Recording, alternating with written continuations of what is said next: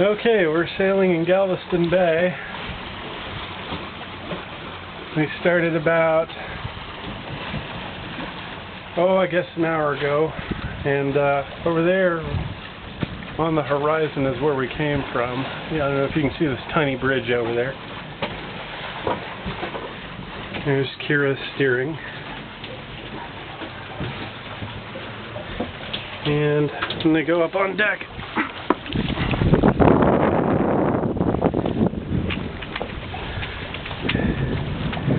That's where we decided to go today. We're trying to just sail around that rig, that oil rig. I think it's not even used anymore. But... And over there is an infinite horizon of water with some commercial shipping in the background. You cannot see the other side of the bay from here. It's just too far.